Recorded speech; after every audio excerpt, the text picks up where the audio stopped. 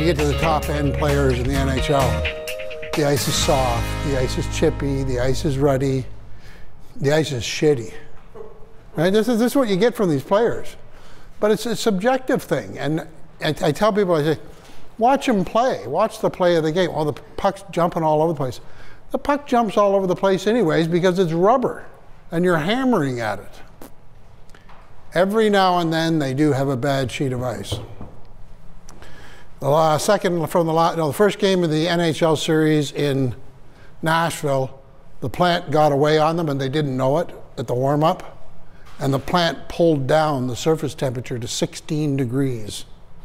So when they went out for the warm up, it just rutted. And with high definition TV, I sat there and went, oh my God. You could see the ruts. Because they come in, they drop a bunch of pucks out, throw it out, and then everybody attacks the nets. They come in, do the loop, out, shoot, out, and the ruts were amazing. And I went, someone's in big trouble. Needless to say, he no longer works in the NHL. but stuff happens. You get caught with your pants down. Air ice interface temperature is always a good thing to keep an eye on. And this is the this is the original one from Maple Leaf Gardens, about as the new Leaf Garden. Here's the line. Take a look. This is where they are on the peaks.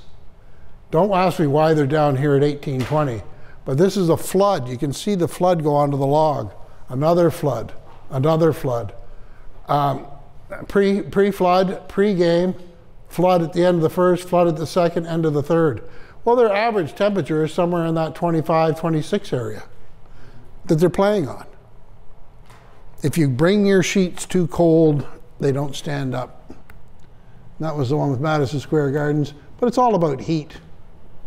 Heat's coming into your building whether you like it or not. Sensible heat. Engineers hate when you say this. It's the heat you sense. Conduction, convection, radiant. Solar radiation, convection by warm air as it, hot air rises. Cold air pulls into the bottom. Sensible heat, you get it from the sun. It affects your building, it comes through your blocks. They built two rinks, Chesswood and Westwood arenas, and they, for both, CIMCO did the mechanical on it, the same buildings, and one ran 1820 and one ran 1618 for brine feed return temperatures. And they didn't figure it out for a long period of time. It was a row of trees outside of the building that blocked the roof from the sun.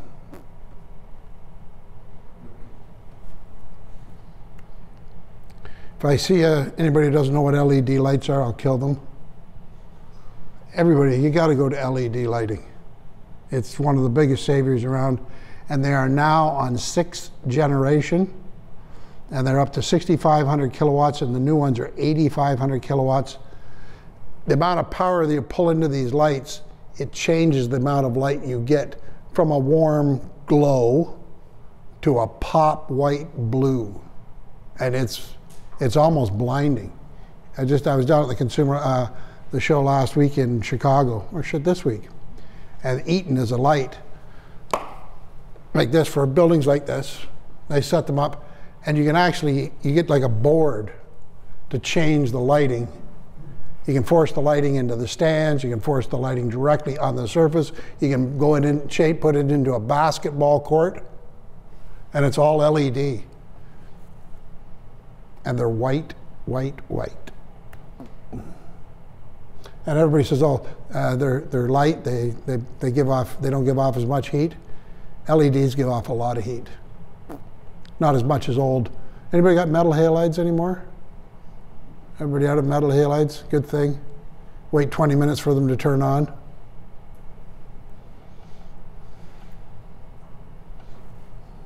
This is the new uh, this in uh, Moncton, Moncton fourplex.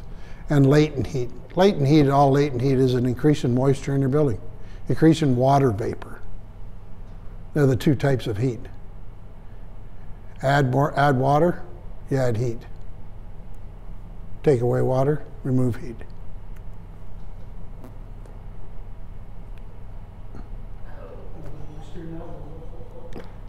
this is a twin pad of ice. They started painting it. Well, They dried out their building. They had the dehumidifier running. Everything was fine. They came in, painted it. They broke for lunch, and the other arena didn't have, which wasn't in ice mode, had a had a show, a hor- horticultural show show up. They opened up the back door, started loaded in all their stuff. Started to rain, and the guys came back, and you can see that it started dripping a little bit,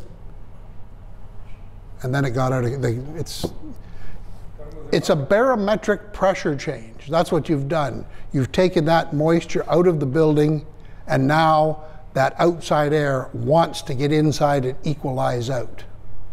And so all that moisture came into the building, and they were done. Well, they just didn't have enough buckets.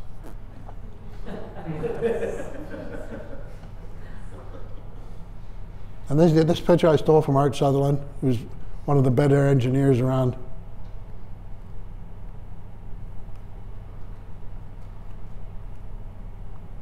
That's latent load. It's, it's water vapor. It's, it's a mass.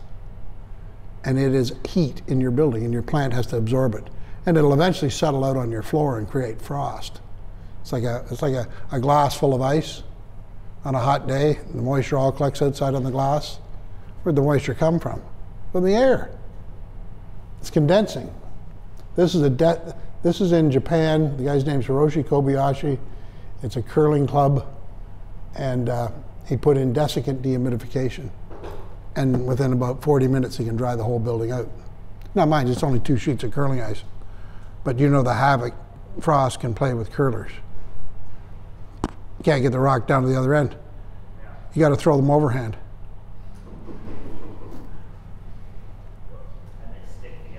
That, and that's what it is. This is what this is all about.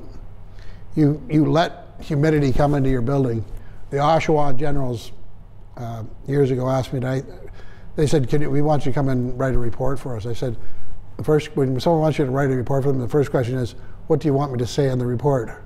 Because they, have, they want a report for something. And theirs was, they wanted dehumidification, they wanted two new Zambonis. So I wrote this three-page report, age of the Zamboni, service cost, da, da, da, and I said, you also have to have dehumidification. So they put a dollar on every ticket and hoped to pay for this $180,000 dehumidifier in, in about a year and a half. Well, in a year and a half, the money went into the general ledger, and the Oshawa General spent all the money, and they found black mold in the building. The health department came in and shut the Oshawa Generals down. You're not playing in your building anymore. They lost all the revenue from their team. They had to go to a small building. They had the guys come in with the white suits, the mask, wipe off every nut, every bolt in the building, every seat. Started the plant back up, and the black mold came back. They hadn't gotten rid of it. And the building is closed, and now the Oshawa Generals plant the old, new building. All for $160,000. They knew what the problem was, they didn't fix it. Now, this is a little bit of an odd one. You can't see it from where you're sitting this is Blues Phoenix. This is the, the original Kohl Center that opened up in Kiel Center, sorry, St. Louis. Yeah, St. Louis. Guy's name was Bob Johnson. And he would write this out every NHL game.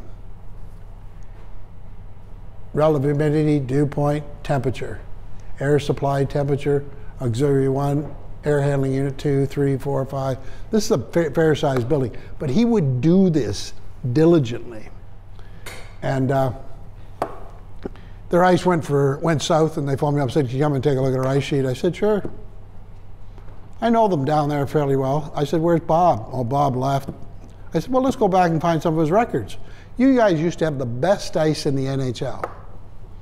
I only said that to puff him up a little bit, but and. Uh,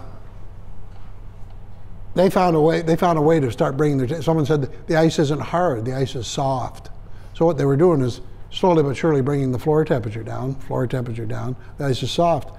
The ice wasn't soft; it had become brittle.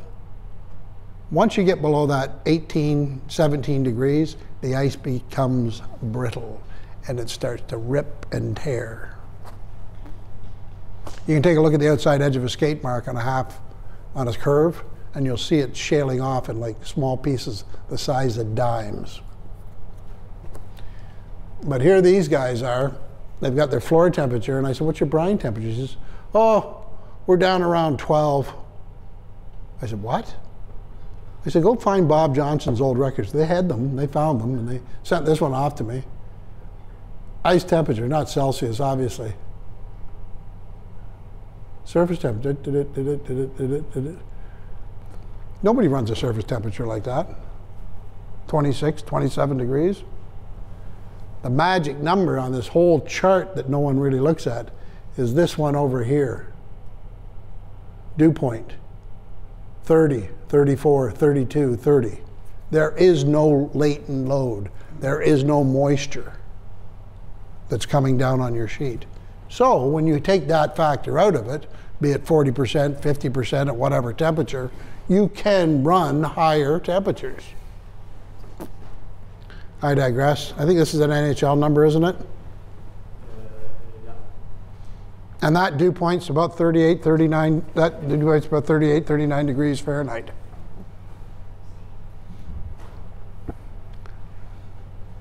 And in just a little bit of an offshoot, this is something that you should take a look at. Always be wary of the air handling on your building. And whether you're a big building or a small building, know where your air is going. That, uh, that cheap bugger I was telling you about that only bought four boxes of paint off me in Clinton, Ontario, home of the Black Donnellys. Uh, he had a thing that he did in his building when he went to paint his building. Your big trick about making get having a great paint job is cold and dry. Cold and dry. Cold floor in your building dry. You don't want any humidity. And you don't want humidity coming into your building or penetrating your building.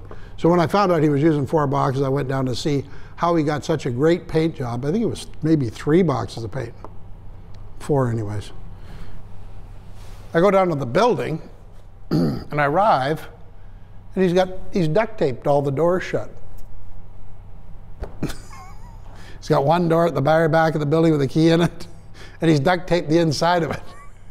And the big fan at the back of the arena, that is exhaust fan, he's got that all taped off and plasticed off and he's using his arena floor that he's got set down around 16, 17 degrees, he's using that for a condenser. So any moisture that's in the building locked in is being attracted to the floor and forming frost, thin layers of frost. And every three or four hours, you go out there and burn the frost off. Burn the frost off, burn the frost off. And that was taking the moisture out of the air, and the floor was getting colder. But it was all the, aspect of air handling too. You don't want air, you don't want to be able to have air coming into your building at any given time unless it's treated. Air in the ice phase. This is a peculiar phenomenon. We've talked about it for over 40 years. It was brought to our attention by Gil Adamson. He was a research chemist for Rohm and Haas. And this is where a lot of the confusion starts with air in the ice phase. That's an ice cube. Made it in my fridge. Yeah, my freezer. I keep my fridge cold. It's for the beer. Beers the beers. Uh, the, what, what, what, do you see there, really, when you think about it? Where do, look at the air bubbles in it. Where did it, like when I put it in the ice cube tray, I filled it with water, looked at it, I got water in the tray, I froze it. Where'd all the air bubbles come from? Don't tell me they're micro bubbles.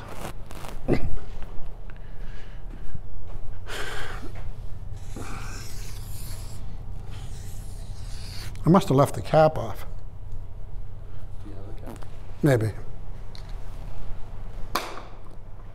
When you start making ice in an ice cube tray, a rather peculiar phenomenon happens it starts to freeze from the outside. That's the first shell of ice that starts to form. Water is the only thing that's going to freeze, not the air. But because there was no air in there, there was water.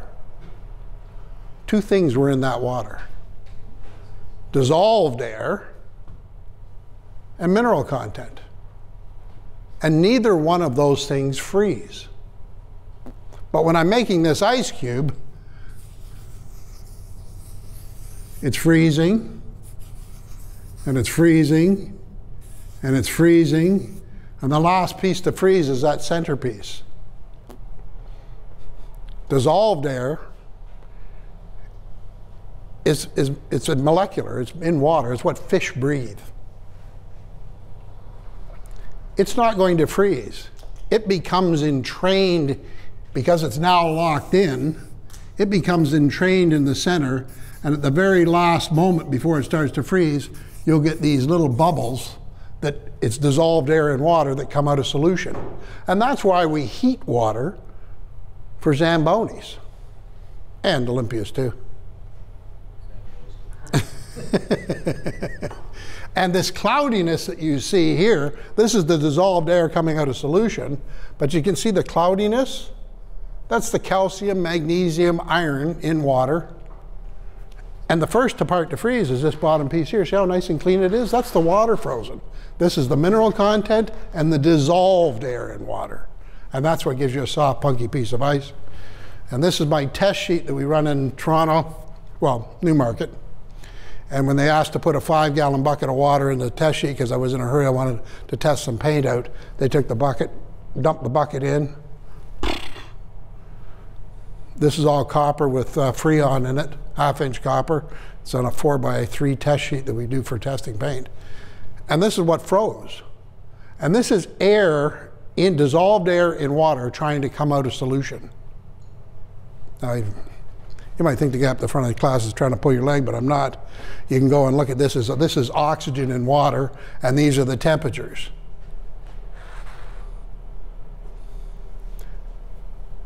Now this is oxygen.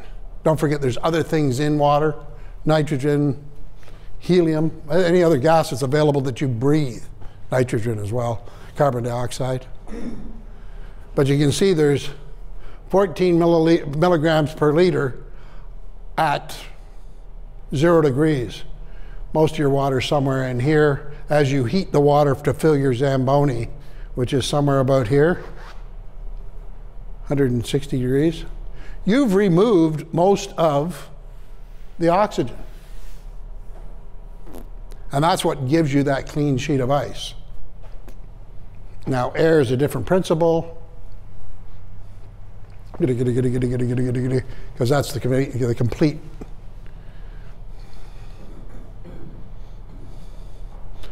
So if you have water that's in this here 50 degree range, you might have 23 milliliters of air per liter as you heat the water. And you can see this on a pot of water on a stove. Put a pot of water on a stove, heat it up slowly, and at about 140 degrees, it'll all go white and frothy, and then it'll go clear. And that's the dissolved air coming out of solution. And it comes out, comes to the surface of the top of the water, and then it all dissipates. If you take that same pot, let it cool down, and put it back on the stove, it won't happen again because there's no more air in it. You have removed the dissolved air from the water. Dave, so when, but when your ice is sitting there, or your water is sitting there, yep. is it absorbing air? No, it's not absorbing air. People think that. It's not. It's entraining air. There's a, the surface of water has an electrical charge, as silly as it sounds. There's three or four really good books written on it. Um, and that's where we talk about the starvation flooding when you want to build a great sheet of ice. It is a peculiar phenomenon. If you want to build a great sheet of ice, build it in thin layers. Has anybody ever noticed that when you go to a nice cold sheet of water, cold sheet of ice, and you put a spray of water on, and you pull the hose back quickly, that you can see the ice go, it gets a shimmer to it? Nobody noticed that? Like it almost looks like it's dancing? That's the dissolved air coming out of solution. When they make ice cubes,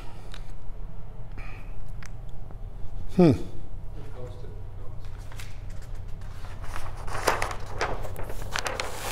Ooh.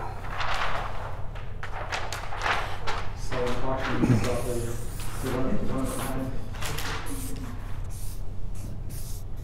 It's around, I was, I, I get into too many curious things that drive other people crazy, but when they make ice cubes, they feed, um, it's in a, an ice machine.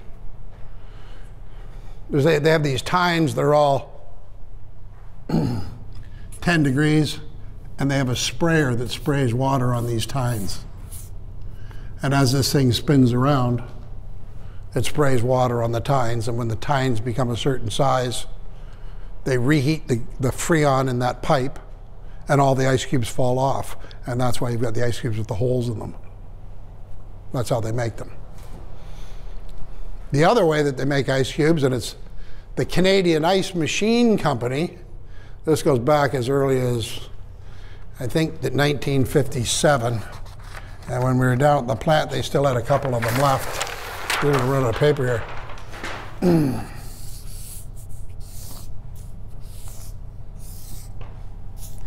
they would fill buckets up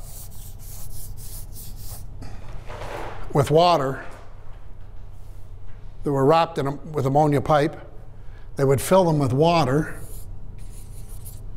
and then they would start cooling it. As it cooled, it would freeze the core on the inside. uh, The core on the inside wouldn't freeze; it would be the last to freeze. So they'd have these large, and it was a time thing. They had two and a half hours on the timer, and when it got to a stage where all the impurities in the water and all of the dissolved air, they would drill it out, shut off the thing, and then they would take these big chunks of ice and grind them up, and they would buy a bag of ice that was all in big chunks. And the reason they did that was to get rid of the dissolved air out of the ice and to get the mineral content of the ice and give you a great sheet of ice. And the last piece of proof in the pudding is when they used to go out and I'm not that old, but when your grandmother had an ice box, they put the ice in the top of the fridge and the cold air would drop and your milk would stay good. But they got that ice from a lake. Well, when they got lake ice, what happens? It starts freezing at the top. And all the stuff in water would sink to the bottom, the mineral content, and they'd go out and saw it out of a lake. And those blocks of ice were the size of this table and were absolutely pure and clean because they removed them with heat and the air would come out of solution the air wouldn't freeze. They would be a solid block ice. And that's what we're trying to do here. When you want to build up ice, put it on in thin layers. You can only freeze so much water, and so it was referred to as starvation flooding. You want a clean sheet of ice? Put it on in thin layers. So I had a question. Mm-hmm. So if we built it up with hose floods, um, we noticed that the scum would rise, seem to rise. Yeah, because it's not going to freeze. Yeah, It's the last to freeze. Yeah. It's freezing. It's pulling it up. yeah. So Some of it, some of it would freeze, but a lot of it would come up each time. Okay, and then when we're done, we can shave it off. Scrape it off. Go out there, take a really good cut, and everything. else. Curling clubs do that. That had lousy water. Right. go out and scrape the hell out of it. Mm-hmm. Scrape it. Get the garbage off the top. So now when we build slow by spraying, we seem to be trapping. You lock a lot of it in. In there. Yep. But how much do you have? How dirty is your water really? Okay, It's not. Sometimes it's not that bad. no, that's good. Depending on where you get your water from. Good quality water should have very little mineral content. And the last but not least, I think that this is my part, anyways.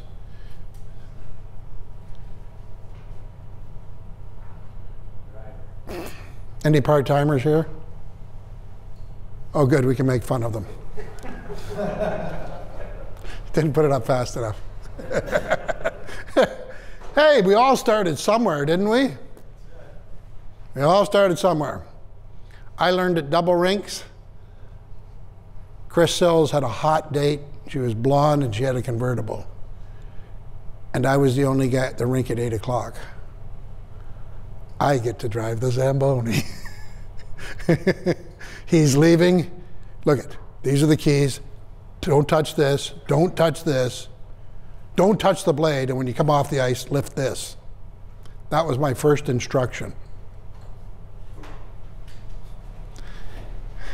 I'm a horrible driver. I don't drive anymore. And, and, and, and it really is funny because to be a good driver, it takes a lot of time. And some guys are great drivers naturally. Some drivers are great drivers on their machines. Because when you go to get on somebody else's machine and it's not the same, you go, oh, geez, this is like you're getting into someone else's car. Or you get on an old beater and the guy's been driving it for, and he's great on it because he knows what everything is. He knows, ah, yeah, about there. Yeah, he knows all the little quirks about it and everything else. You get on it and go, oh my God, I'm gonna wobble. He's just guy's. But the driver is everything. Sometimes they're good drivers, sometimes they're bad drivers. This guy's one of the better drivers around. It's Danny Ahern out of Chicago, and he eats, sleeps, walks Zamboni. Um, he's a race car driver as well, and he does. Um, he was the first guy to do all the hydraulic lines for the grease fittings up behind the seat and underneath, so you didn't have to climb down because you're supposed to grease those fittings every night. right? They were greased when. It's the driver. It's the cut, the water, the speed, basic ice maintenance you set aside. And it's training. It's the thought about what he's actually doing. Most people don't take it into account, but it's the cut. How many times have you gone into a rink and you watch the guy go out and mums and tots have been out there and he's out there, the guy pulls out the ice and he just cuts a whole load off and lays a whole nother load of water. You can't drag him off the machine and beat him senseless like I want to. But he, all he wants to do is just go out, clean it up a little bit, pick up a little bit of snow, very little blade, blade, and drop about this much off the spreader pipe.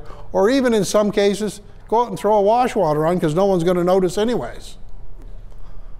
But it's the common sense of what, you what you have to do. And sure, you might go into a horrible nightmare weekend where you've got to cut the hell out of the ice because you've got a hockey practice and they're the 18, the 18, 19 year olds, 18 and under, and they're, these kids aren't. They got boots on with their quarter inch hollow cuts, rocker blades, and they come into the corners and just. That's when I have a tendency to keep it a little bit warmer. that way they don't cut as much. And then you've got there's one of those every 18 hours. And at 12 o'clock at night, you're going, geez, am I going to have enough ice for tomorrow morning? And you're out there doing floods. Because, really, when you think about it, the machine and the water, what you put down, you can take off a lot more. There is a, there is a law of diminishing returns with an ice resurfacer that most people don't take into account. A full compaction of Zamboni is 2,800 pounds and it holds 165 gallons of water or thereabouts, 10 pounds a gallon, 2,800 pounds of snow.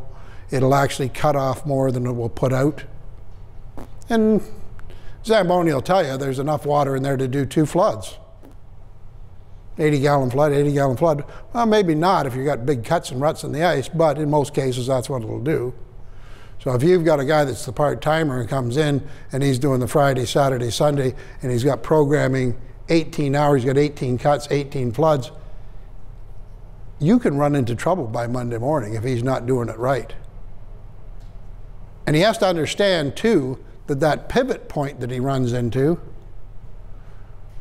it's, it's there. He's going to go through it eight times at the end, eight, nine times, depends on how good he is right? He's doing that, and he's going through that, that crease area, and he's cutting. I used to cheat. I used to just bump the conditioner, but I don't recommend anybody do that anymore. It's, you might have to pull the blade up. You're dumping hot water in that crease. That you're heating the interface, and after that third load of water, you want to. This was the Olympics. Torino. That's, that's Westcott. Uh, Westcott and Moffat. I don't know what the whole story is there. What are you doing out there with a squeegee? The goal, how, nothing, nothing the goalie hates more than standing in water for the first five minutes of the period. That falls on the driver. You got to be able to pull it out of the crease, put it down, and I don't care how big the ruts are. If you've got big ruts, you can't freeze them in anyways. You can put water into them, but they're not going to freeze in 20 minutes. And it's the driver that makes that call. He goes out, he looks at the ice, he knows what the programming was for the day, and he has to make the decision on what he's going to cut off, what he's going to put down. And good drivers have to know and have to be able to do it. Ice maintenance. Some people think that that 10 minute resurface is ice maintenance. Ice maintenance is when you do ice maintenance, every chance you get. Everybody got an edger here? Everybody use it religiously? Once, twice a day, depending on your programming. Clean up around the edges. I've got some horror story pictures. Of, this is all you see of the kick plate. Gosh, you get, the, you get the banked edges so you can keep speed up in the corners, right?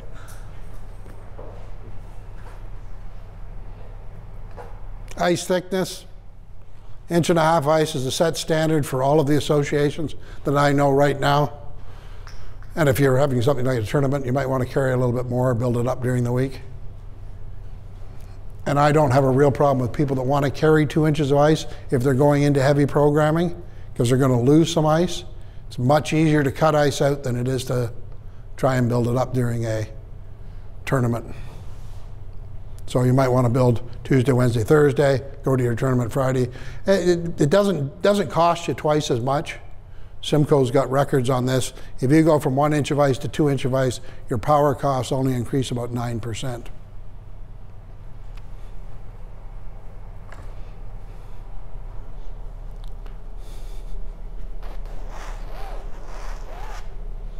That's the problem area.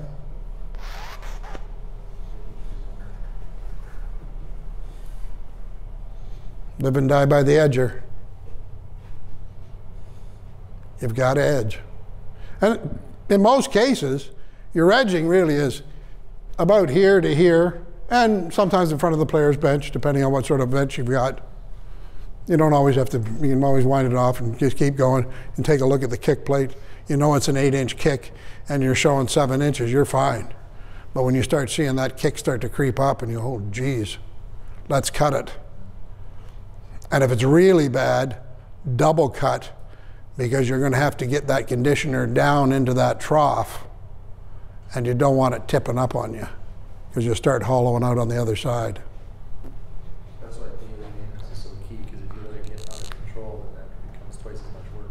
Yeah. Get that balanced. Drill and check is the only way I can do it. I, there's been guns out there. Becker had one for a couple of years. They, they said it would, you know, do ice thickness with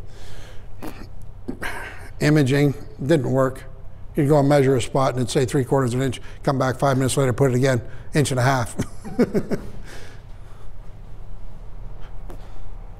and I'm not here to. s- So that's the infrared gun it's about. No, no, this was this is this one. Here it is, right here.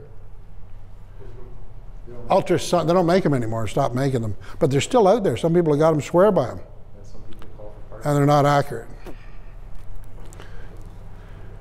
But it really boils down to there the eight factors: driver, sensible load, ice thickness, water quality.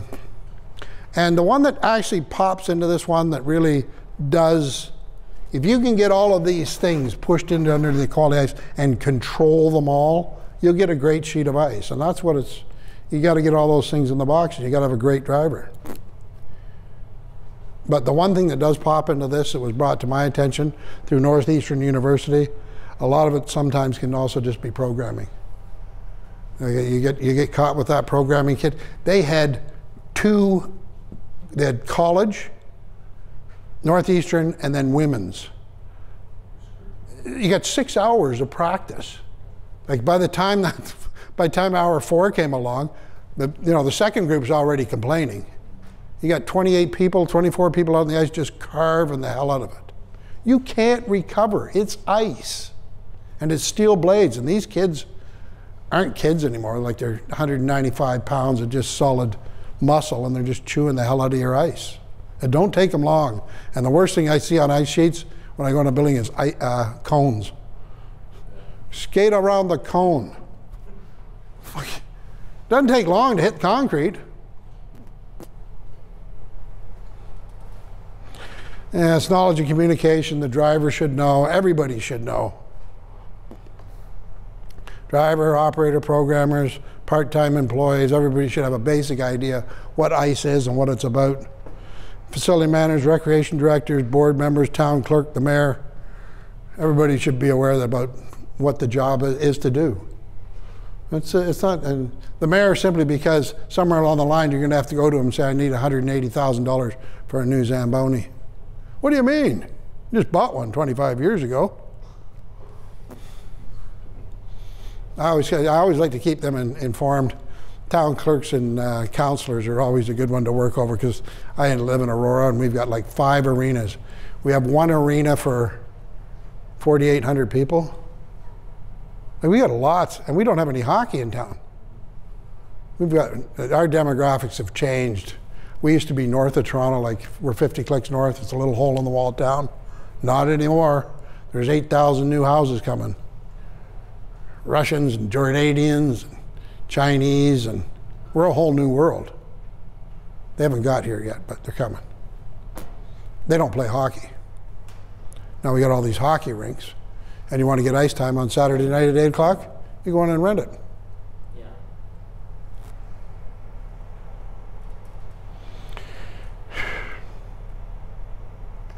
Yeah. LED lights,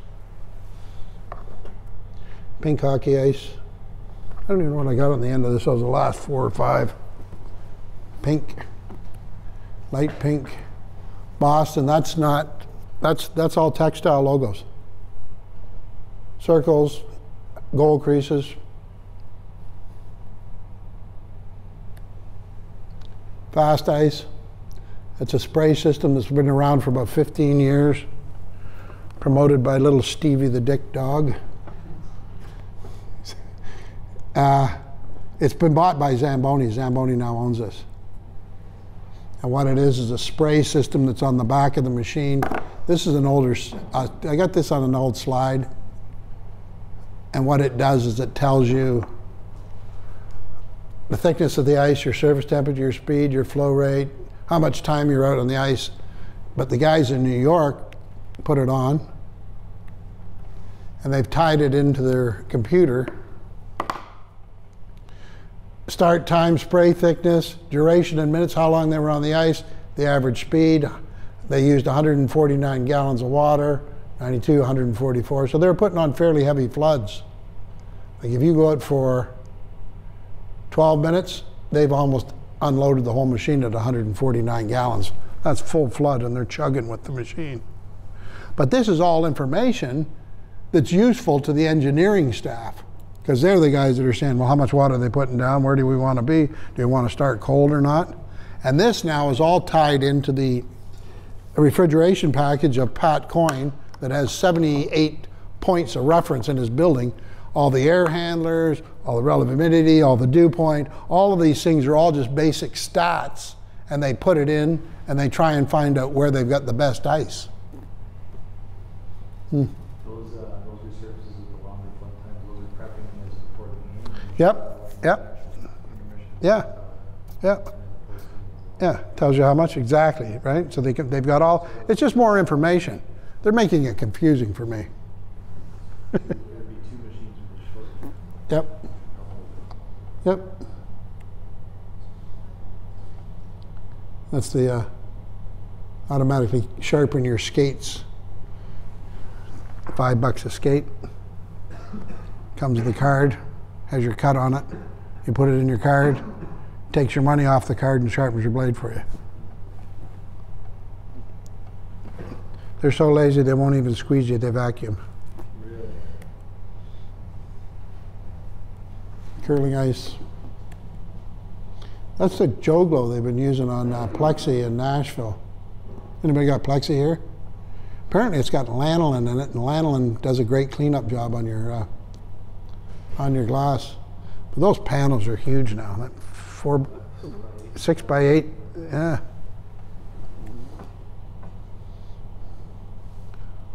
Advertising. Yes, I need a break from the advertising. That's a multi-spray wand. There's three different heads on it. One for painting, one for sealing, and one for applying water. So as you go through the stages, you can either adjust it the amount of water you want to put out. And so like we painted the white and then we sealed it. We cut back on the water on the seal. This one you just turn the nozzles. And now you would want to build ice, so you just turn the nozzles up. Give you 15, 15 gallons a minute, 400 gallons an hour. How fast do you wanna do the, um, when you're building ice, how fast do you want your spray to Well, you want to be able to, you want to be able to build ice continually. That's, that's really what you want to do. Because if you look at a chart where your energy use is, it's that 32 to 32 degrees from a liquid to a solid. That's where all your energy is used up, 144 BTUs on the phase change. So you want to freeze water constantly. You don't want to go out there like I used to do and put out a 2,000 gallon flood, melt back a half an inch, a quarter inch of ice that you'd already made, and then have to refreeze it. So you want to continually go out there and build ice. And I, like I said, I usually divide the rink into three sections. And in a case like this where you're not, you're almost at the end of the ice, you not don't have a lot of ice, but I would take the hose out down the boards a little bit, go through at center ice. That way I've only got 85 feet of hose on the ice. One guy can do it, and he can just stay out there. Third of the rink, next third, next third. Go back to the start, put more water on, next third, next third. And if it's not freezing fast enough, just cut back your water. Because you're always building ice, not melting it back. And you're not waiting for it to freeze. That's when you make your best ice. this is back. This is, these are different presentations. This is Maritime Atlantic Operators Institute. You guys should get one of these. Anyways, this is the drive-on remote control edger with a laser. they took it off YouTube, and it, you just it, it drives around and edges. Yep. I mean, they had them over in Norway last year, and they were trying it out. It actually does work, but I'm just real leery about leaving something on the ice under remote control. You come back in the morning, big ruts in your ice. It was on YouTube. They took it off. I don't know how they pulled it, but it, somebody had left the gate open and had gone off at the gate and down a concrete hallway.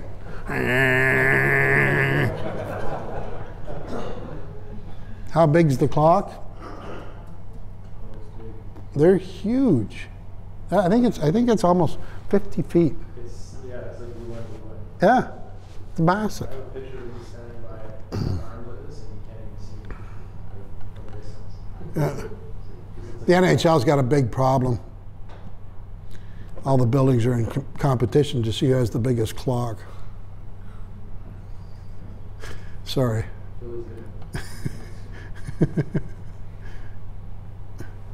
This is a rink we did just to prove that we could do it, but we didn't want to. See the white line across the ice? That's 16 foot panels of, of plastic mesh. We did it at uh, Mississauga. They didn't want to paint, they wanted another way to do it, so we did it for them. Any questions? Dave, so I pulled the water report for uh, somebody's arena. Can I put one up and you can look at the water quality report and just tell us what to focus on that's on the report? Yeah, in a minute. Okay. You got a minute? Everybody got a minute? I want to run. I'm going to run through a couple more slides. I'm just trying to fix this one up so that you can have a look at it.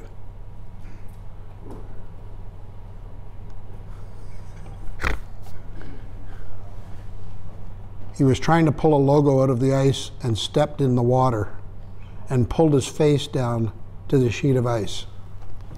So he goes to the he goes to, he goes to the hospital, the interns there, and the guy stitches him up with like eight stitches. He goes to his family doctor and he says, Who did this to you? Now he's got this. It looks he looks like a pirate. That's what there's somebody actually in Aurora has this thing. He's a dreamer. He thought we had it last year. And these are the two guys that stole the cup off Boston Jim Schmooky, Dave Grimes. They're both good guys.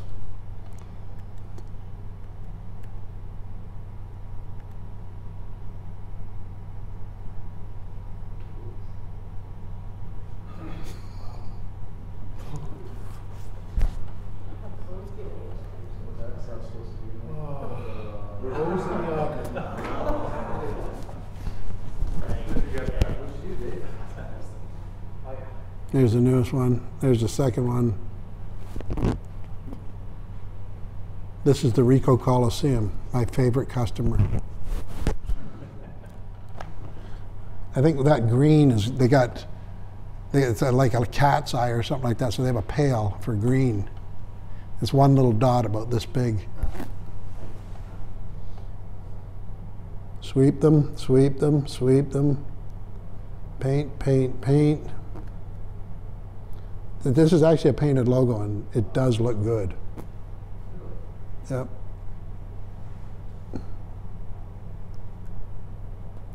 This is why we started getting into textile logos. This guy complained at Salt Lake City all day. I said, hurry up and get that finished.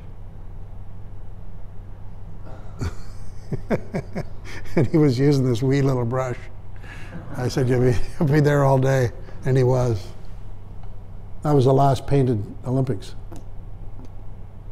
And this is why we tell people don't use that for a logo. Black, gray, and purple, dark purple. They put it in the ice, and three weeks later, that's what it looked like. Don't do it.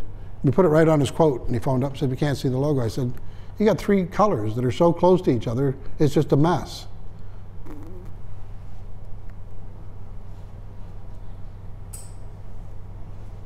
Get the kids out, paint her all up.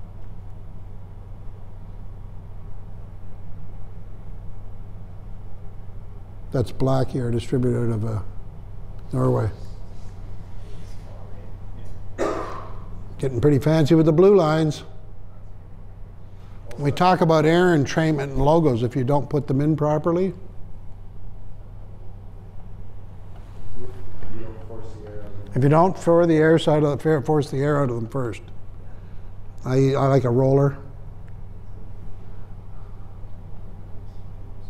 And that's one that's one that we did Aurora, and you had to stretch it. I think it's just off a little bit, but you, you pull it tight, stretch it, and flood it in. Look good. Hey, that's you. Where were you? I heard he's big in I heard he's big I heard he's tall in Japan.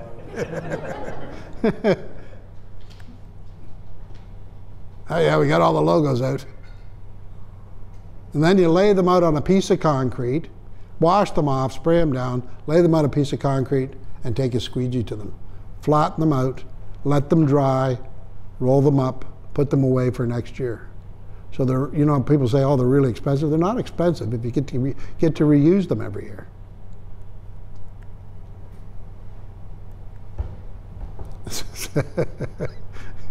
this is a.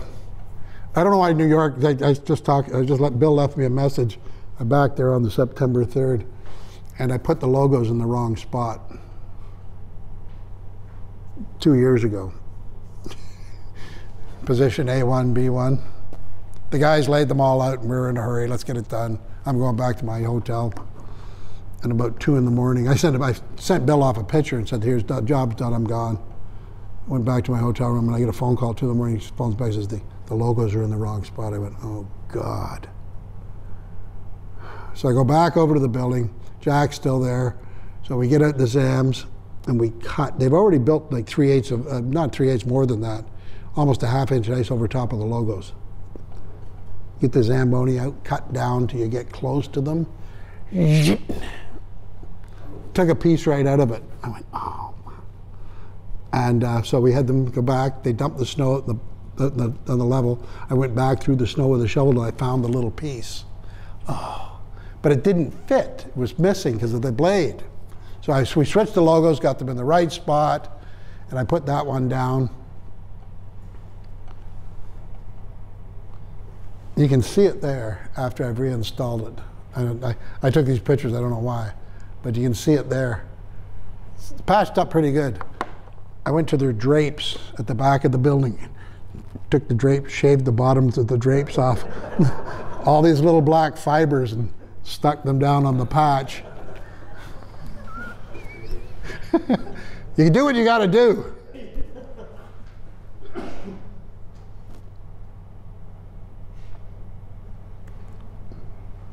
We're doing blacklight stuff now. And this is just out in. Uh, that's a LED, $8,500. 10 inch square panels, and they all interlock. You can actually see, the problem is, everybody says, oh yeah, they look great. The panels are probably a quarter inch thick, and they're plastic, so you got to have a good lot of ice over top of them. And you, I wouldn't recommend you stop the Zamboni on top of them. But you can see the power lines right here. See, uh, right there, there, there, and there. And they can't, they can't turn them up. That's only a quarter of the brilliance. Because light is heat.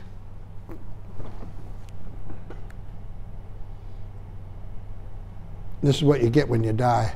Somebody does a memorial on the back of the chair for you. I thought that was pretty neat. Dedicated 33 years of service. Zap Bruins. We hate him anyways. This is our uh, this is our Zamboni rodeo we do, do down in PEI every year. It's put on by Zamboni. We had to take the alcohol out of it. it, was a, it was a time thing. It was a lot of fun. That's Everett Tucker. What are they doing? What are the, what are the, that we did a, we put a line on the ice and we put out cones and the time Everett Everett's a great Zamboni driver. He drove it right? And he timed it to what speed you're supposed to be doing to get through the course in a specific time. And the closest to that number it wasn't about speed it was about getting there without hitting any of the cones. So you lose you know three seconds for a cone touching a cone moving a cone right? Missing going off track. So the red paint stick was the mark that you followed around because the track was sort of there's a double loop in it and a cross, so you had to follow the line. conditioner up? Down? Uh, no, conditioner. was- We had to bring the conditioner up. We used to have we'd paint numbers on it. You had to cut the number out, but they wouldn't let us do it anymore. So, but uh, yeah, you had to stop. You had to stop front wheels on the one side of the ring and the rear wheels on the other side. Yeah. Speed skating ice. There's a guy that that's Mark Messer. He's probably one of the best. He's uh, highly respected. Did you? Yeah. He's too busy. Yeah, he he was on, uh, Should have told him I was coming. He like. Uh, that's why he didn't come. he's a, he's as good as they get, boy. I've done a lot of work with him. This, he said they wanted they wanted ice in uh, Korea when we were over there, and he wanted an ice machine to make like snow cones. They bought this thing, and they would take purified water and run it over a stainless steel cylinder with a razor blade on the front edge, and it would make clean snow for him. You wanted this? Messer, because he's burying lines in the ice, and you don't want to use old snow that's got shit in it. So they bought this $4,800 piece of stuff. Don't ask me to hide stuff. So when it comes to using CO2 though, there's a, like the, an extinguisher. You got to be careful when you're using extinguishers. There are CO2 extinguishers and there are CO2 powder extinguishers. You don't want the powder extinguishers to poof. Everybody's standing around with white powder all over them. how long, how long can you hold it there though? Not CO2 is, is minus 57 degrees. And if you try and patch something up with it, CO2 will float away. If you're trying to patch something up, take a box that's opened on the bottom, pour the CO2 into the box slowly. And the CO2 sits in the box at minus 26, 27 degrees, and it freezes that area of ice.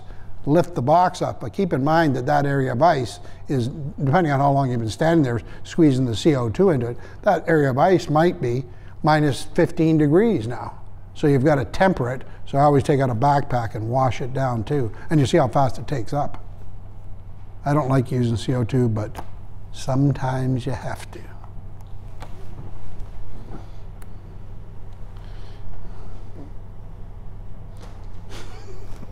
I won't even bother trying to explain that one.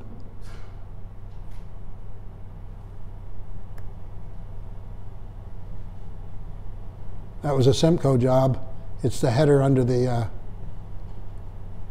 Olympic Oval. And they put the header in, got the header all up, hung it all up. And one morning, Wayne Dilk came in, and the entire header was lying on the floor for the Oval with like 30,000 gallons of brine in it. Uh, the one in Richmond. And so they, they the panic on the CIMCO people and the building people was dramatic. Like people were almost passing out from the the whole header had fallen on the floor.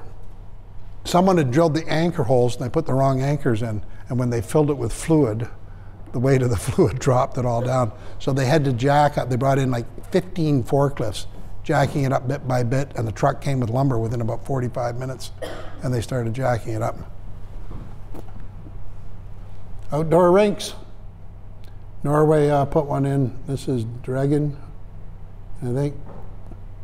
And it's, it's a hit. They put in lights, they sell coffee and alcohol and raising tons of money. And it doesn't, the plant really is only making up the differential in temperature. You know, they've just put the ice in and they don't really need a big physical plant to run it because it's already, you know, 28, 27 degrees. And when it goes above 32 degrees, the plant comes on.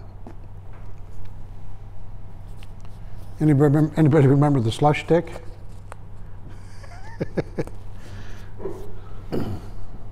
Fill the holes in your ice. This was a very cool product, uh, product on my part. There was a guy that always complained about there was no glide on his ice. So I got bottles, four ounce bottles, I put 12 in a box, had labels made up with glide on it, filled them all up with water, and sent them off to him. Told him to put them in his wash water. Make all the difference in the world. You'll have your glide back. He phoned and tried to order two more cases because it worked. Because it worked so well. I can be a real dick sometimes. What's, what's the surfactant then? Is that, is that? No, that's gloss. That's something else. That's something else. This here is a rink that has an ice cube system in it, and they put the support beams underneath the header, and they seem to be having a problem.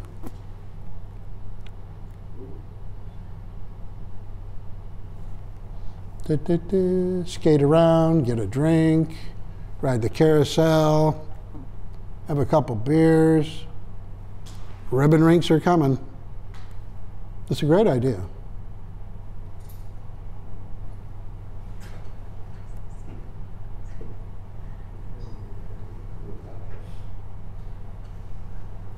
Steampunk.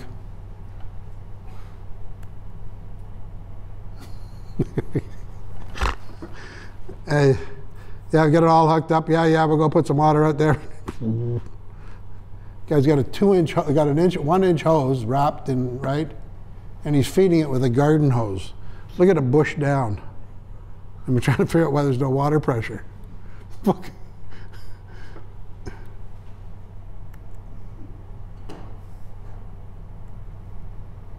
This is my hometown, town of Aurora. There was a crack between the board anchors in the concrete. The new lady in charge decided that she wanted to fill the crack up but didn't know what to do with it. So it was suggested to her that she drill a hole in the concrete where the crack is and then buy one of those spray cans of foam with the long tubes on the end and fill the crack up with foam. This is my hometown. Someone, someone got a drill out, someone got a drill out, drilled into the U-bend and covered the floor in glycol. Not glycol, so sorry, calcium chloride brine. Came shooting out. They didn't know what to do. Shut off the plant, shut off the plant. They phoned CIMCO CIMCO charged them $22,000 to drain the system, pop one panel of boards, take off the U-bend, put a new U-bend on, and then pack it with sand and shop back it, and they were in charge of cleaning up the ice. The calcium chloride was all over the floor, so they bought out a scrubber, took the scrubber and did the whole floor with the scrubber. But what the problem was, the scrubbers pick up water and then go forward. Pick up water, go forward. But they were contaminating everything they were running into. So all of a sudden they had this. I got some more pictures I can show you, but uh, and they wouldn't. They couldn't get it to stick to the. It's salt. And they're trying to put their ice in. It's not sticking, and they want to know. So they finally break down and phone us, and they won't tell us the story. like we're, we're here to help you. okay, you're stupid too. but they wouldn't tell us the story, so I wouldn't help them. Found out later. Everybody wants these. Oh boy, hover lights on your skates. Ooh.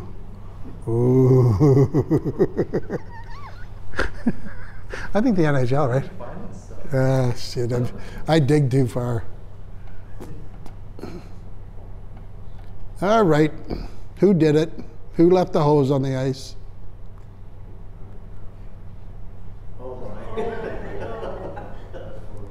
That's a, it's Photoshop. They, we make fun of the guys. Paulie and the guys. Paulie and the guys in New York have got a very depraved sense of humor. So we took their. This is the end. The circus is no longer around, but they found they want Paulie to take care of the elephants. and this is something you should never do, even with an Olympia. You have runners. You know what the runners are for? Not for driving around on concrete. And the guy took his ice out that way.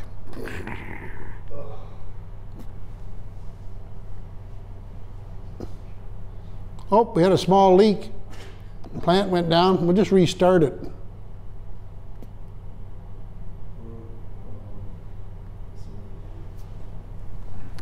This is from Salmon River, Nova Scotia. The rink is 150 by 75, and it's the first electric Zamboni. he had a tractor. He bought a had a bought a used. The guy I can't even think of his name now. One of the most ingenious guys I've ever met. He built it himself. Had a tag along. Couldn't run the diesel because it was a small rink, and you, you're, you get carbon dioxide. You'll start poisoning people. So he built it from a forklift and a tractor. And it's, it's still working today.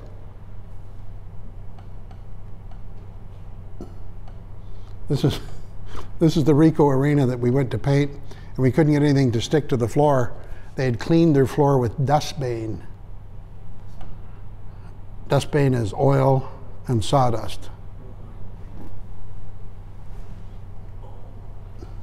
And this is us laying out that sheet that we uh, talked about. The reason we put the white down is because this floor was so dark. That's what it looked like. This is the lookup line in case anybody didn't see it. It was supposed to protect young children. Yeah, they do it in some US cities. That's great. I sell five gallons orange paint every time they put it in. But it doesn't do any good. The University of Calgary did a did a report on it, and kids were they were finding that kids were actually supposed to be safe in that zone. Kids were checking, looking down to see if they were in the safe zone while they were getting checked from behind.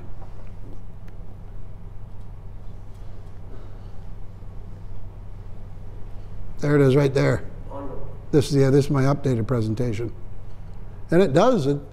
Don't leave your stuff out there. Fill those cracks in because ice expands at a rate of nine percent. So every time you put water into a crack and it freezes, it's get bigger. So if you got cracks in your floor, fill it with sand. At least the sand will displace the water. Playground sand.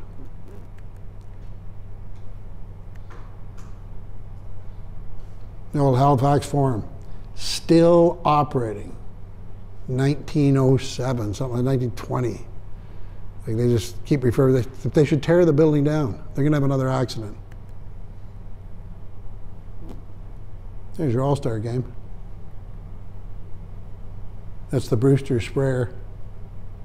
And I don't know what's wrong with it. I've tried to fix that sprayer three times, changed nozzles on it and everything else. And he says it's the lighting, and he's got stripes down his ice. Don't know. Ooh, the new blue line. Everybody should have one. Isn't it All Star Games? Isn't it just it's about yeah everything.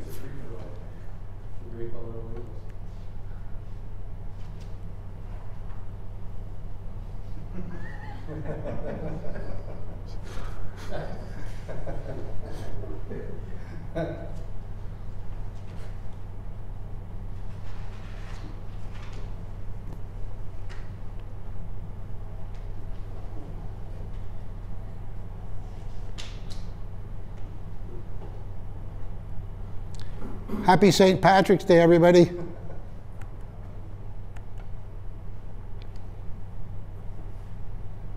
I don't know where this presentation was going. I was working on it a long time ago, but I think I was starting to drink towards the evening.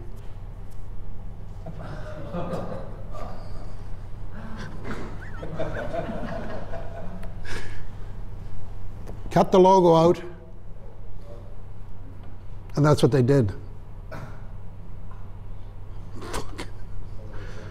And I actually, yeah, I honestly don't know where it was, but they wanted to know how to fix it. They sent me the picture.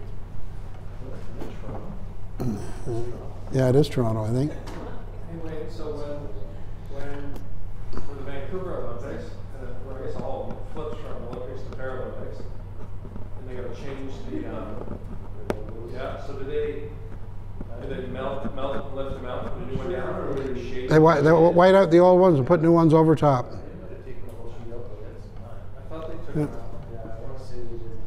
That's the NHL glass. Anybody deal with Athletic out here or uh, Cascadia? Cascadia boards? Athletica? Athletica boards and glass? Yeah, they're, they're a monster company now. They tried to buy us, the girl wouldn't sell. They bought Becker's, Cascadia, and Athletica are all now one company.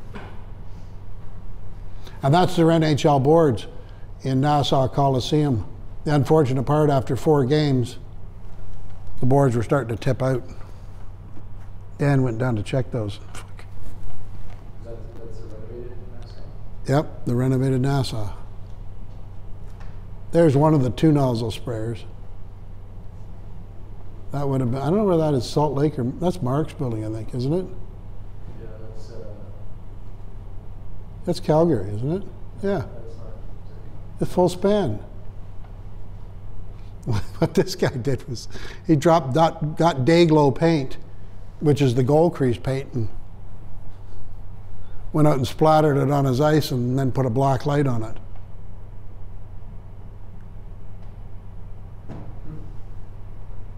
How much ice you got? There's a three inch puck. He's got four inches ice in the corners. How much does he normally carry? Had a busy day of edging, did you?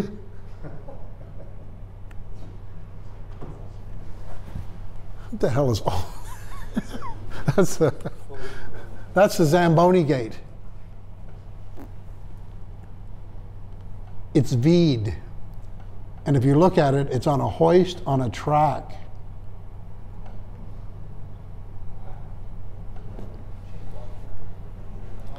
I wondered how many times you get your fingers pinched in that. Yep. There's no sense. Seneca College, uh, Finch, and uh, 404 are Don Valley. It's been that way for years. Olympic Oval's got the ice in. Mark put it in a couple weeks ago. That's what I like about the Norwegians. They got good ideas. You just sort of drive the thing right off the ice. Just keep making more ice. Drop the gate down, away you go. Gotta clean some of these up.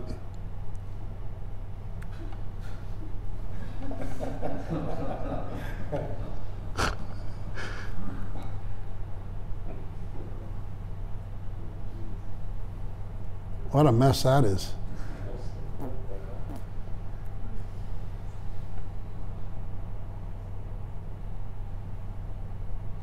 Why would you put curling on a hockey sheet? I don't know if I have enough pebbling heads.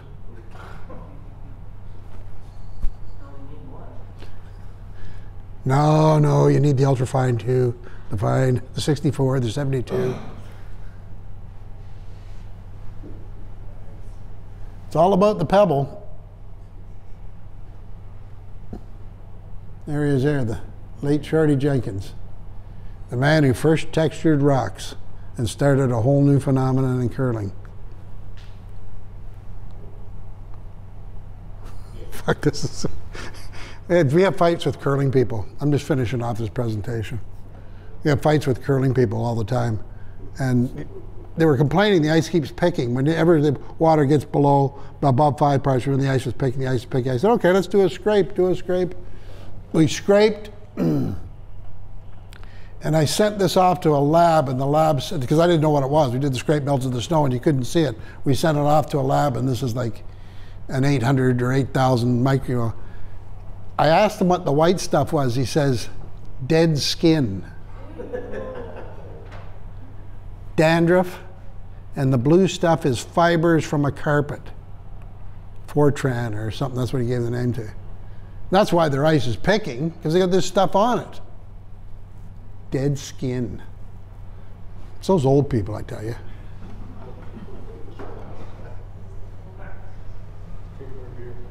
This is just before you lose it. That's just as the plant shut down, and it's just starting to melt.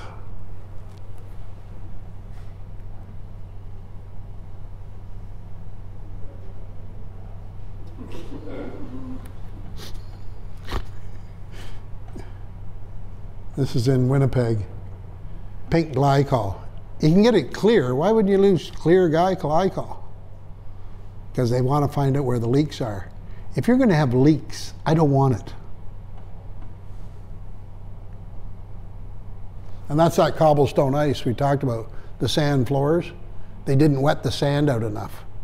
So when they take the Zambonis out, the weight of the Zamboni crushes down the soft sand because it's not a block of ice anymore.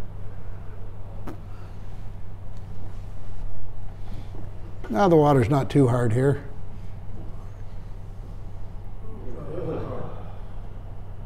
Pens to test. This is an RO system we put into the Mighty Ducks or the Anaheim Ducks practice rink. And this does about 2,500 gallons a day, which gives them enough for all their flooding for four pads of ice. And it all uses gray water, like off the showers, off the sinks. And the total price was $68,000. And then see the chains on the side of the drums? That's for earthquake protection. I said, these things are 25,000 pounds. What the hell's going to happen? They're going to fall over? Got to put them on. So what, what is, why would you, what is reverse osmosis? Reverse osmosis is a process of treating water to purify it. You push water under pressure into a membrane. At about 200 psi, pressurize it. You got low pressure membranes coming out now, but they're not as good. And so the good water gets through the membrane and the bad water goes to drain. So to make a gallon of good water, you might push a gallon of water to drain. And that's what these membranes are in the thing.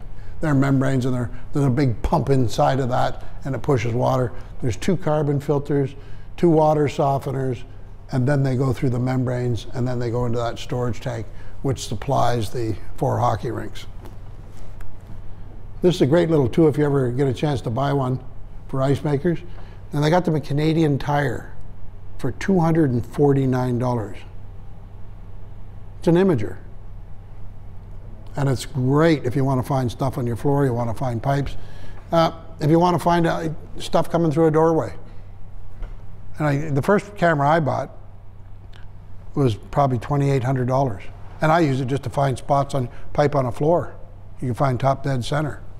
When we were doing all the anchors for the NHL, when they changed 13 feet to 11 feet, it was really handy. And now they're making them just, must be making them in China or something. Give them a couple weeks, you buy it at Dollarama.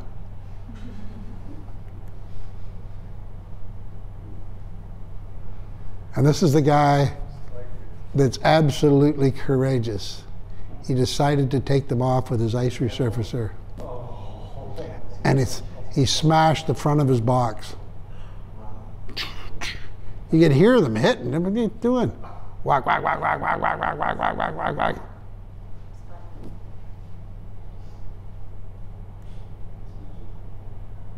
That's frost on a floor. Sometimes if you try to build that in and you don't burn it off, you'll get white, big white marks on your ice sheet down the road. This is a lithium bromide dehumidifier. They put it into LA. It cost over $380,000 and it still doesn't work. This is the flow control.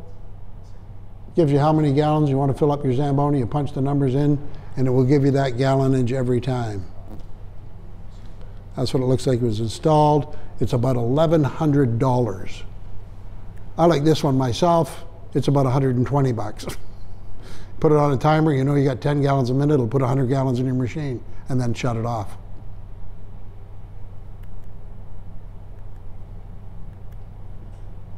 Now there's a professional. They're now putting shoes out, and the new ones are the Vibram ones, and they've got little pieces of steel in them, and actually they do work. They're not slip, slippery. There's a company now testing them for postmen, because you don't want your postman going down, do you? That means you'll be off for six months on compensation. So now they're putting, I think they're actually taking old steel belted tires, grinding them up, and making soles for shoes out of them. My personal opinion, because that's what it looks like. It's got that little steel chunk sticking out of it, and they do work. This is a Staples Center. See the little boxes on the top over the over the entrance to the building? They're gas generators. They have natural gas to the building and they generate power. So that at 5 o'clock, when your peak rate comes on, these come on at 549, generate power to the building so that they don't go into peak demand. Shut off at 9, start up in the morning at 6, and go to 10. They never hit peak.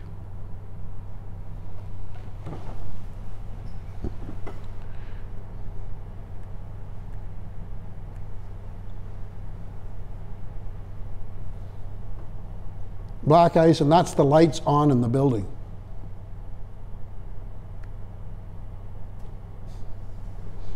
This is the Barclays Center. They're, in New York, they, they load this building up. You pull into a, an elevator, your truck, your 45 foot tractor trailer, it takes you down to the lower level. You pull your truck onto this turntable and it turns your 45 foot tractor trailer to the loading dock to the staging area. That's how expensive real estate is.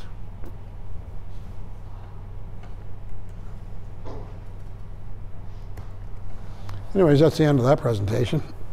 I'm still working on it. Can we do a water sample and you can show us what the Sure, sure.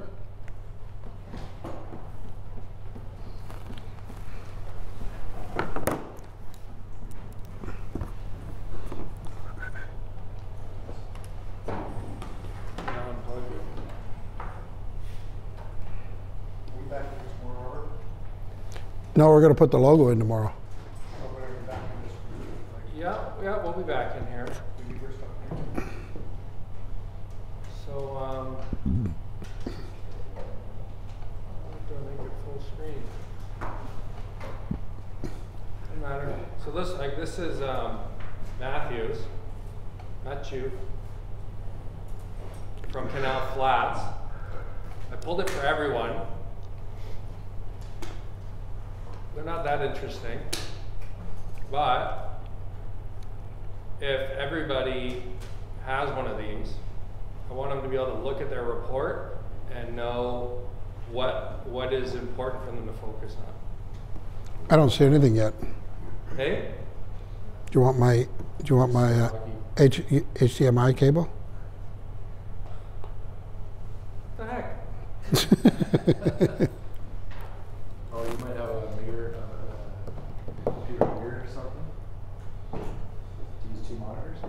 F, F5.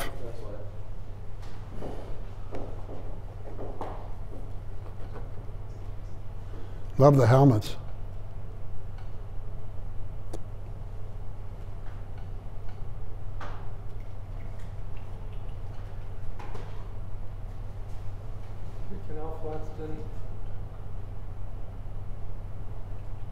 I didn't, uh, sorry Matthew, I don't think yours. I don't know what she sent me. Hang on, go to that page. Okay.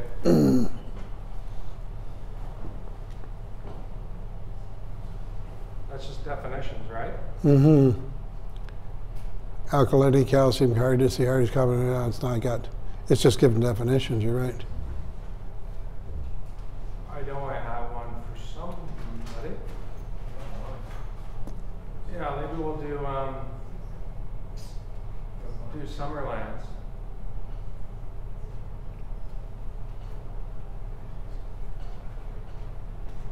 Here we. Oliver? Oliver. Uh, Arena, what do you got Arena Zone's catalog for you? Say what? Arena Zone's catalog? Got everything. Quebec. Robert Boileau, the French guy. Yeah, good, good stuff in there.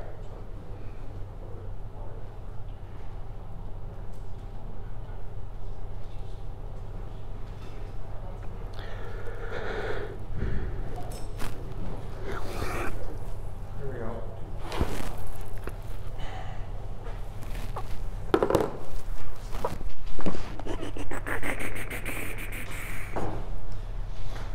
Did I miss a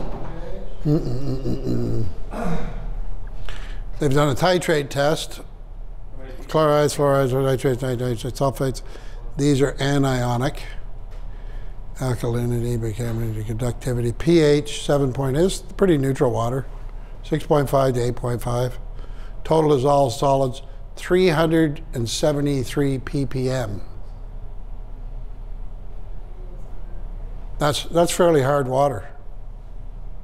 I've tested it even up into the six hundred zones. 200 like this is this is the calcium hardness at 300 so the rest is probably showing up as a, as a sodium that's hard water it's good for you it's good for you Where does your water come from? Like a well? Like a deep well? Uh, yeah, some kind of aquifer that Yeah. runs by the town, I guess. So he'd have calcium and more total dissolved solids since he's pulling from deeper in the ground? well no it depends it depends on what your water water water runs through the ground and whatever it comes in contact with water is a universal solvent it's going to try and break it down It'll eat up copper, it'll eat up metal it eventually. And if you take a look where, where I'm from, we have the Niagara Escarpment that runs Tobermory all the way up to Thunder Bay, out through Chicago and come. It's an old lake bed. And it's dead crustaceans and uh, Blue Mountain is just like when they cut it off, it's blocks of limestone. And that's calcium carbonate. And it's like you get up into that University of Guelph area, the water is hard. Like after about four weeks, that you're, if you don't have a water softener, you're, you're with a pen, uh, with your pen trying to get your shower head cleaned out, and your Zamboni holes, they stop by the Chinese food, food place and get those turkey, turkey uh, chicken skewers, and they're out there with the wooden skewers trying to knock the calcium out of the, out of the, out of the spreader pipe. It's that hard. So is that, is that the only thing? pH, no, I wouldn't worry about pH is fine. TDS, total dissolved solids, 373. That's hard. But here's your calcium hardness. Still 300. Seven, it's about it's 15, 17 grain. It should be treated.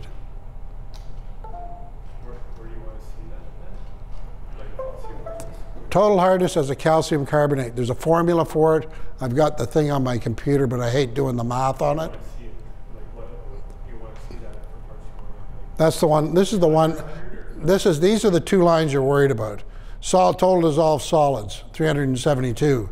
Actual hardness of water as a calcium carbonate is 306.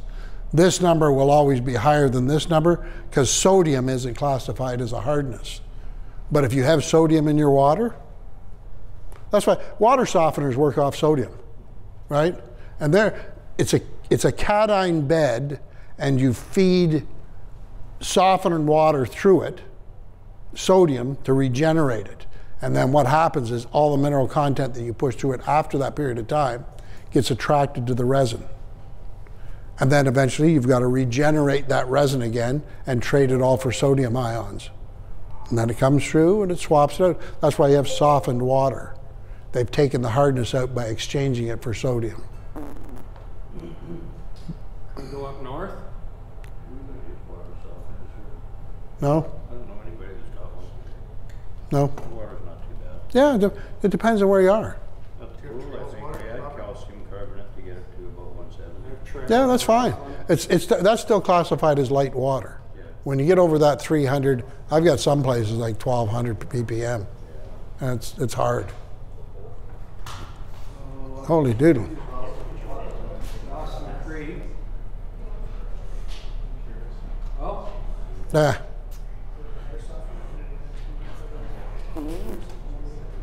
Carbonate.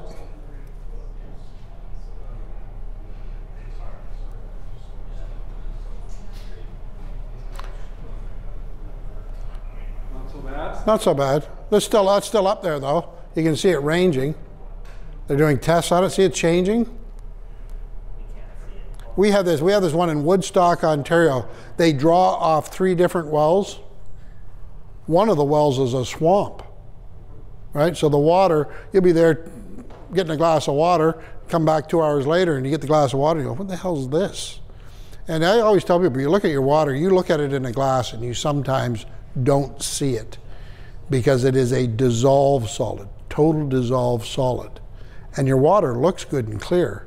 But I've got, we're, we're in Newmarket, Ontario, and we, we fill up a 100 gallon, you fill up a glass, it looks fine. You fill up a 100 gallon barrel, you throw a penny in the barrel, and you can't see the penny at the bottom of the barrel. Yeah, and you can, you, you can taste the hardness in the water. Water really doesn't have any taste, or shouldn't have any taste. What you usually get is chlorine. Our water with all the mineral, minerals out of it, that it tastes like, I don't mind. doesn't have. Doesn't have any taste. Aquafina is, is, Yep. uh, RO. Yep, it's flat. But if you got mineral water, Yeah, it'll have taste. What do we got here? Spring water. It'll have a number on here. They have to, by law, put it on. Prepared by, ooh, look at this. Overwaitea Food Corporation. What do you got on it? I got 30 milligrams of calcium. Nothing. Hey, it's got no fat in it. Hmm. Bars right here. Hmm? up.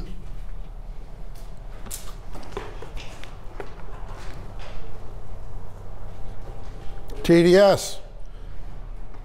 That's nothing. That's nothing. pH 7, that's absolutely neutral. Total alkalinity, calcium carbonate, nothing. Like that's that's high quality water. You really don't need you, What? Oh. But you usually don't see stuff like that number. That's less than a grain of hardness. 17 parts per million. And it helps our brine because when we mix our water with our calcium chloride or our brine, Yep. they always say our brine's so clear and nice is because our water. But that's but the problem is the people that put calcium chloride into your into your into your brine lines are supposed to use DI or RO water for the mix. They're not supposed to take tap water and mix it with the calcium chloride because they're mixing iron, calcium, magnesium in with sodium chloride. They don't. CIMCO rents tanks off, off us all the time when they go to do a new install because they want zero water to mix their brine with. You don't want a, a hard water.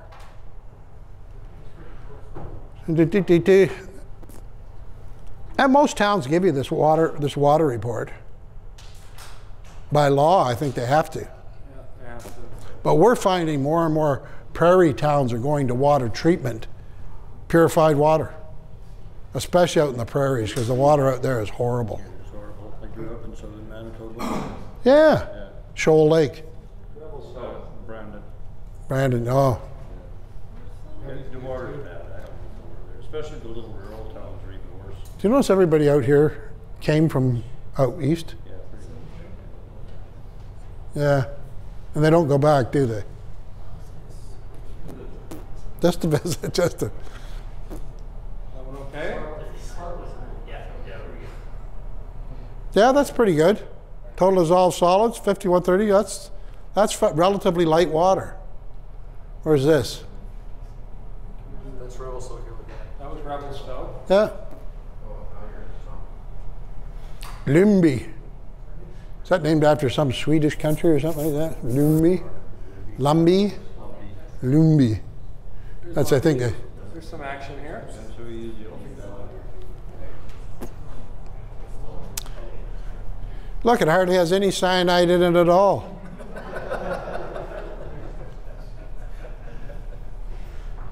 Total hardness of calcium carbonate, that's hard water. No question about it.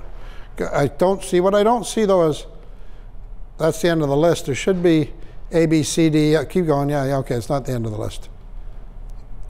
Uh, whoa, whoa, whoa. Yeah, there's got some magnesium. It's not bad. Magnesium. Hard, hardly any iron at all in it. Iron shows up usually as an orangish color water when it's, but now they're using sodium silicate to sequester iron at the, at the water treatment plants.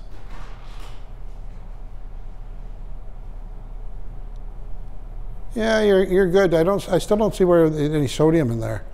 Yep, sodium. 17 ppm. That's not a lot. That's a grain of sodium. But I have seen. It's one thing you look for in water. If you got high salt contents, we had one in Moose Factory where the guy was drawing water in, and it was almost like seawater at a well, and the seawater was leaching into as well. Well, seawater is 3% sodium. 1% sodium will retard your freezing rate by two degrees. So he'd be all of a sudden run his plant colder to make ice. And the sodium would leach out, and he'd go out and scrape his ice, and oh, everything's fine. Slowly but surely, more sodium would come up to the surface, and his ice would go soft on him.